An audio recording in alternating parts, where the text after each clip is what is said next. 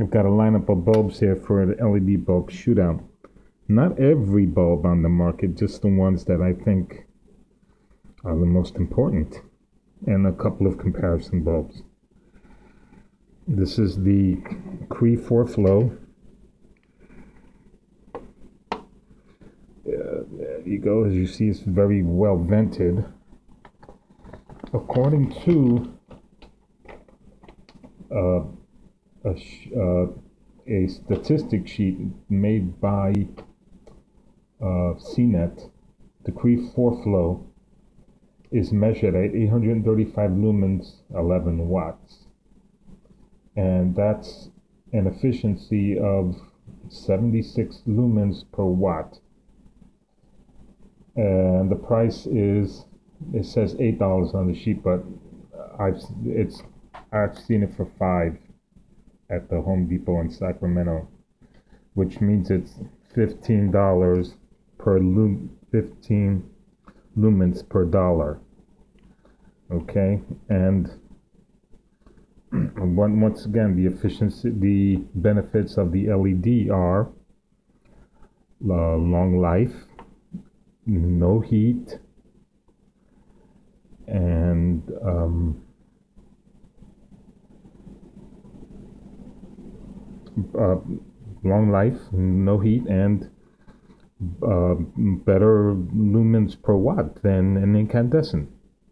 An incandescent would be 60 watts for not even a 60 watt bulb would be oh yeah 60 watt bulb may be 800 lumens but 50 of those watts would be the heat going off the bulb off the glass and making the glass uh, 350 degrees F, which is this is why you burn your hands when you when you touch an incandescent, but not um, LED.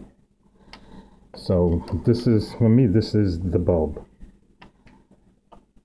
This one funny looking bulb is uh, the only one. I only bought one, and it's the it's called the SlimStyle it's measured at 815 lumens, 10.5 watts, which is 78 lumens per watt, and it's going for about nine dollars according to the according to the um, CNET sheet, and it's 2.2 ounces.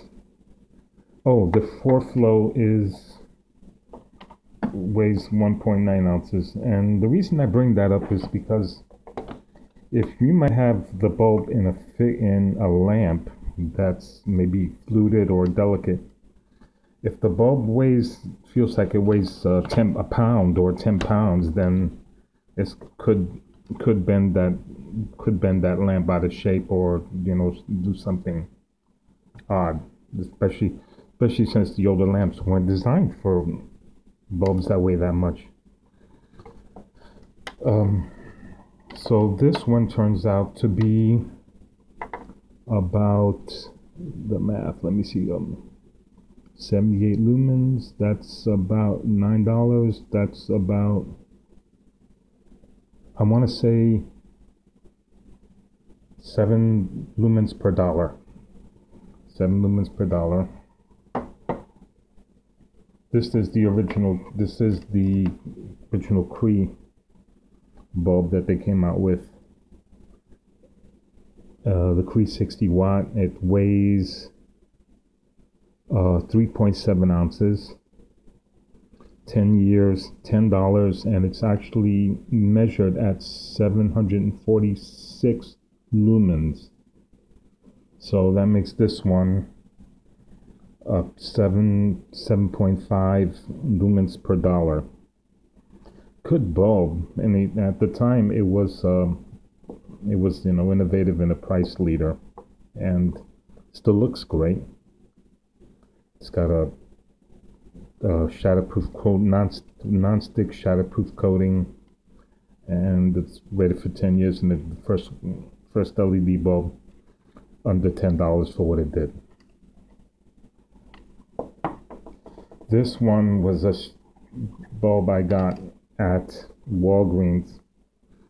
And it was three dollars. They don't make them anymore. it was uh, uh apparently it's this one-off special deal. 3000k uh, it's not on the CNET sheet. Um 3000k 800 lumens. I don't know what it's measured really measured at. I'll give him the benefit of the doubt. And it's a good bulb I, I use it around the house like 3000k color. But it weighs it feels like it weighs six ounces. Got the venting. Huge metal sink. Uh, yeah so nice bulb heavy good color. And the last one is this one I bought at the, the mall. Got three of these for ten dollars. I bought this one only because it's uh, one to put put in reviews comparison, and that two it says it's rated at 90 CRI, which is the coloring rendering index, which means 90 it's 90 percent of the color of an incandescent bulb, which is 100, which is supposed perfection. So that's where they got 90 90 CRI from 90 percent. This this bulb as you see from the metal, it weighs a ton.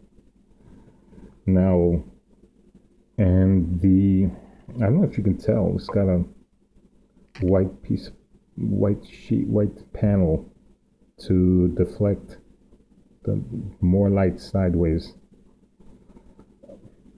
I gave two of them to my friend, and I keep one around the house because this is, this is, or for me, this is an outdated design I'm using an emergency, but I mean, it, it looks, so I guess uh, for me, it looks ugly.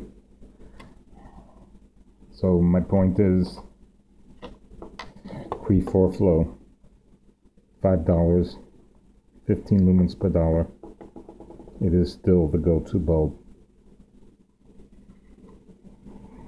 Signing out.